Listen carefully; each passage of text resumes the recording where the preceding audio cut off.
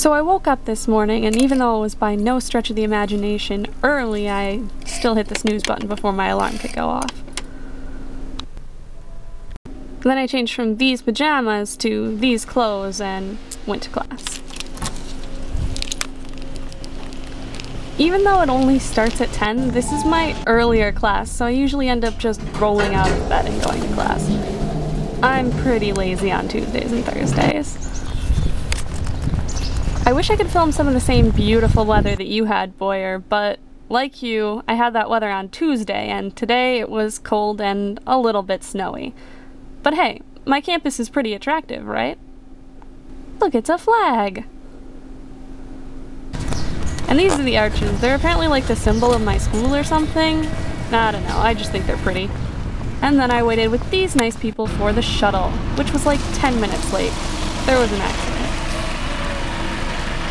So I took the shuttle to our downtown campus, which looks a lot like our main campus, only smaller. And then I walked up those steps and looked at those murals, which feature birds and naked people. So then I got back on the shuttle bus and practiced antisocial behavior while filming myself from inside my backpack. Yep. So then I ate my stir fry on the bus, which is not something I actually do normally, but today I had to get back to the main campus so I could see babies. And no, I'm not showing you guys the babies, because I didn't want to be a creep. But here's me eating some stir fry. I'm pretty boss with those chopsticks, huh?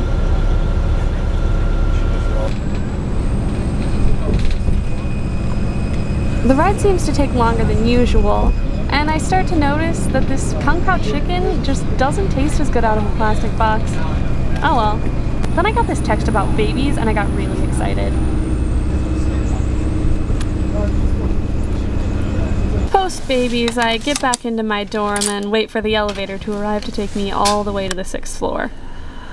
Ugh.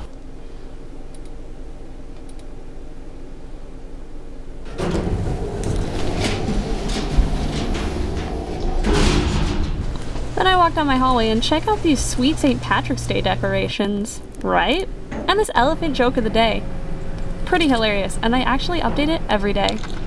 Anyway, back to our usual filming locale. Fortune cookie! It was already broken. you will always live in interesting times. So now it's time for the internet, and I set this lemon timer because I spend way too much time on the internet. I figure 15 minutes is enough time to scroll through all the sexy people on Tumblr, right?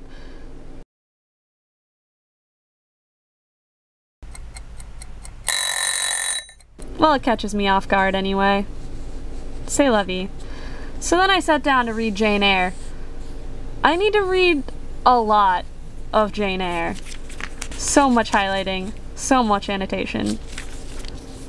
So yeah, long story short, I fell asleep for like, I don't know, three hours. So then I went to dinner and there was this gorgeous kind of sideways sky and I walked into our new student center. So then this lovely lady made me this lovely burrito, which I consumed thusly while my friend was doing this and the sky was doing this. Then we played air hockey.